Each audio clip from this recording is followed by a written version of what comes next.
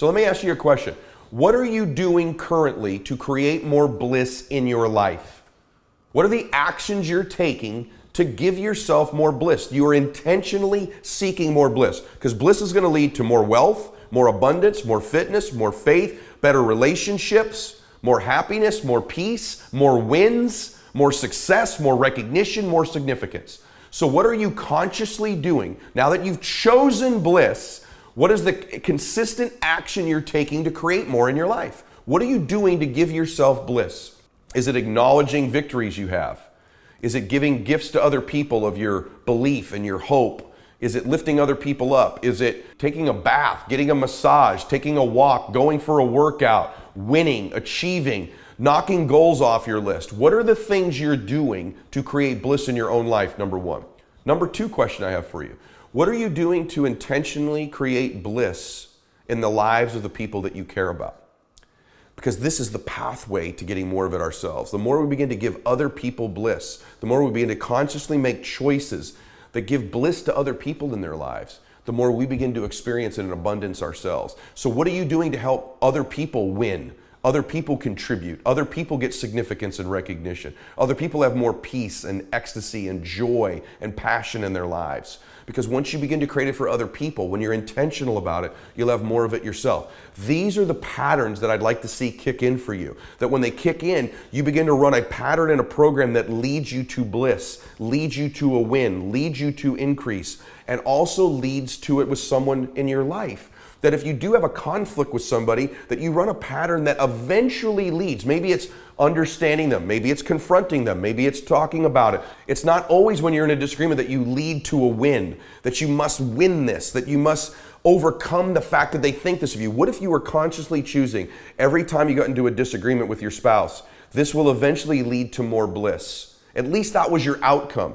Now, the steps you take, it's probably going to be ugly in the beginning. You're probably going to have to some understanding. You may not even agree on everything. But if your intention is that it leads to bliss rather than you winning, rather than you controlling them, rather than you making it go away, rather than you running a pattern. If when you're beginning to succeed in business, if your outcome is more bliss, more winning, you'll run a pattern that does more of that. If in your fitness you're getting fit past where you've ever been before and you're making a conscious decision, how can I get more bliss out of my fitness rather than running this other pattern of sabotage? This, see, the circumstances may be the same. There may be some ugly patches, but you're now consciously choosing to run a program and a pattern that leads you to bliss, to victory, to the win, to fulfillment, whatever the emotion is you choose. Just making that choice gets you there, gets you closer to it, makes it an outcome.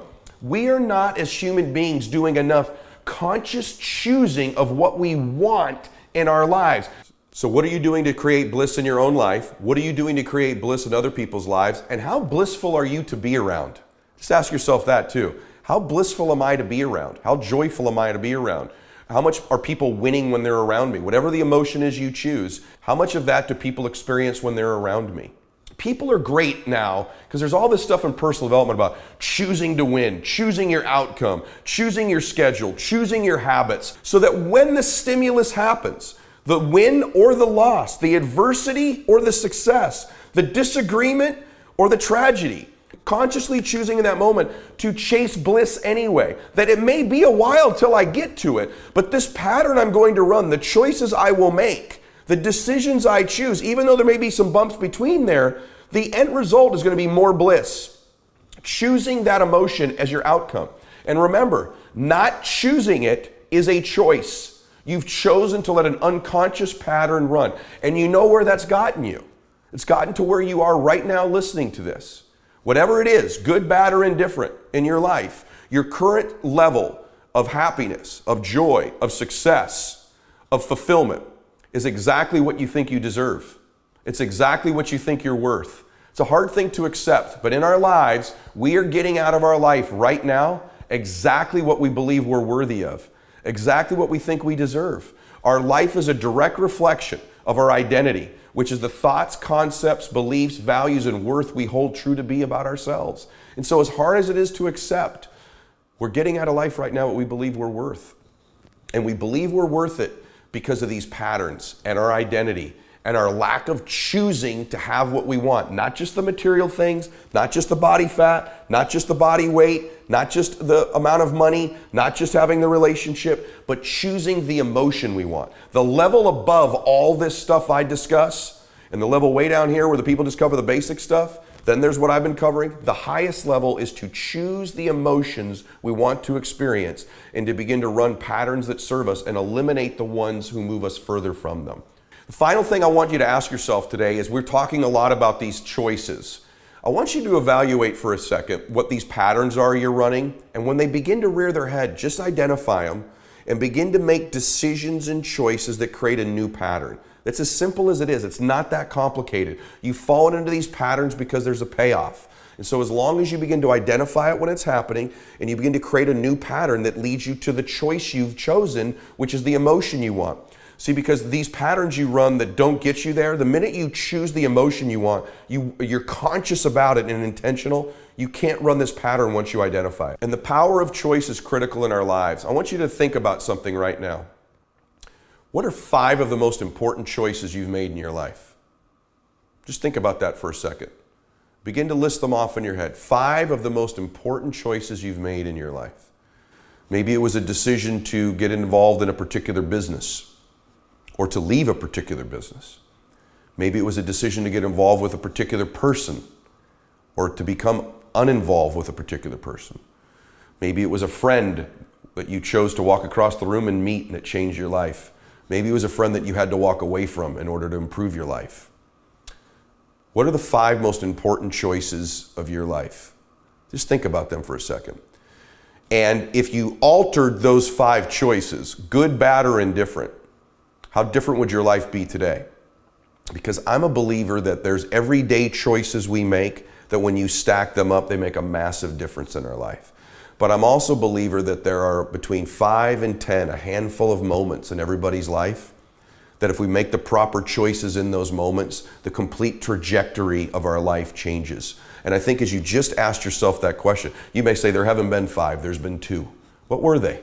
And how'd they alter the direction of your life? good, bad, or indifferent. A lady that picked me up a few weeks ago, uh, an Uber driver, wonderful woman, and but she was an older lady, and I. It was late at night when she picked me up, and I. Um, I asked her why she was doing what she was doing. It wasn't that she was driving for Uber because that's a choice, and I have friends that do it that love it. It's extra money. They've done it in retirement. But I just had a sense that maybe she hadn't chosen it because she was complaining about her back and that she had had back surgery. I thought, that's an interesting choice to be driving at 11 o'clock at night and her back was sore. And she shared with me that she um, had chosen to leave a spouse earlier in her life that she wished she'd have stayed with. And that it was a choice that altered the whole direction of her life. And I said, Well, how did it alter the direction of your life? And she says, Well, my, my ex, um, I moved away from my ex, and my son wasn't around his father very much. And I, she said, I had no idea how that choice would impact him, but um, she said, The reason that I'm driving here and I moved is I lost my home. And I lost my home because my 18 year old son one night chose to have a couple drinks. And he had had three drinks at our house, and I was at work. And my son chose to take the car out of the driveway. And he chose to drive. And two blocks from our house, he hit a family and killed somebody while drinking and driving. My son was a good boy. He had always got good grades, and he made the choice to do that that night, and he's in prison. He's serving eight years in prison. And I lost my home over the legal expenses, and we've moved to Las Vegas, and now I drive Uber because that's what I've got to do just to support my family. And she, it made me think, you know, she said, the choice to leave my husband really affected my son. And I thought, yeah, the choice your son made really affected his life. Those were two life choices that both of them made that altered the direction of both of their lives. His choice, that good boy, made one choice that altered the direction of his life. And I think if you evaluate, there may not be something that dramatic, but there's been probably five choices if you're my age, if you're in your 40s there's probably been five major choices of your life. Maybe it's who you decided to marry or not marry, a relationship you got in or out of, a business you started or didn't start, something you left or began, a friend, a house you bought or didn't buy, an investment you did or didn't make. You know, a decision you made in your fitness one way or the other. Maybe it's, um, it's stopping using alcohol or using too much alcohol the first time you tried a drug that you're now addicted to. I don't know what those choices are. But those handful of choices alter the direction of your life. And I want you to begin to become conscious of choosing the emotions you want because they will alter the choices you make every single day in the small choices. They will also alter the decisions you make on the five big ones in your life if you're very clear about the emotions you want to experience, if you're very clear on the person you are as you build your identity, if you have those two things wired, I'm clear about the emotions I want to experience, and I'm clear about who I am and my identity and my worth and what I'm worthy of and what I deserve they will guide you in making the right choices in the small ones and the big ones. They will guide you towards the right patterns. The answer to changing these patterns, the answer to making the right choices, is perfect and specific clarity on the emotions we want to have in our life on a regular basis and on who we are and our identity so that we produce the lives we believe we deserve that we're worthy of.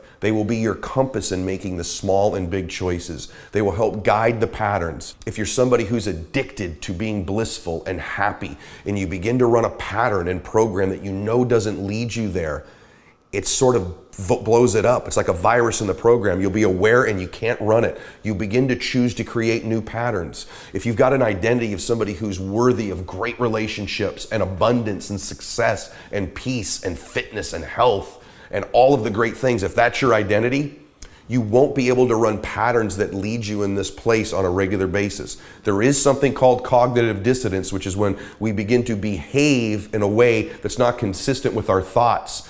And the antidote to that is both of these things combined. It's the ability to begin to choose consciously the emotions we want combined with our identity. When you're conscious of choosing the emotions you want to experience and you're completely conscious of choosing who you are and what you're worthy of deserving, you have to act in congruence with both of those combined. One missing from the other can cause us to make poor choices.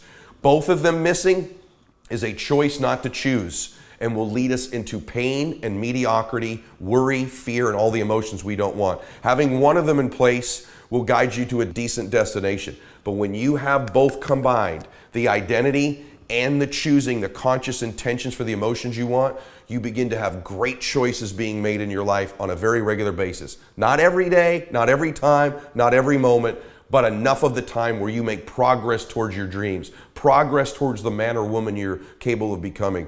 And when you have the combination of these two things, these patterns begin to change. We begin to replace them. So I'd ask yourself today, what are the patterns you're running that don't serve you? Begin to be aware of those patterns. Know who your real identity is. Get conscious of choosing bliss over blank. See those patterns when they're happening. Interrupt them. Continue to work on your identity. These two things combined I think are the critical components to making the decisions and the choices in our life. That when we look back, I don't want you to end up in your 80s or 90s and regret the choices you made.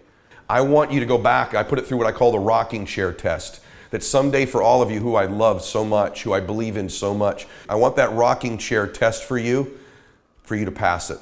And that is, I'm proud of the choices I made. My life wasn't perfect. I made some mistakes, but I chose the emotions I wanted. I worked on my identity. I created patterns that empowered me and the people around me. And you know what? By and large, I'm proud of the choices I made in my life. I'm proud of the man or woman I've become. That's how we know we've had a great life. I don't want you to be in that rocking chair someday and regret the choices you made, regret the patterns you ran, and that you just unconsciously went through your life without choosing the direction of it, choosing the decisions, choosing the emotions, choosing to be the man or woman you're worthy of, choosing the life you deserve. The final piece of the puzzle today is what are the three to five choices you must make in order to create the life you want? Right now, what are the choices you must make? The big ones, the people that need to be in your life or out of your life, the patterns you will no longer run again, the choice perhaps to work on your identity like you never have before. Evaluate what the three to five decisions are you've made so far in your life that have taken you a certain direction, or what are the three to five you need to make in order to change your life and take it in the direction you want. These patterns will lose their power over you. Your identity and your conscious choice will begin to take charge. And I know you're going to have more happiness and produce more results and have a much better life. And that's what I wish for you.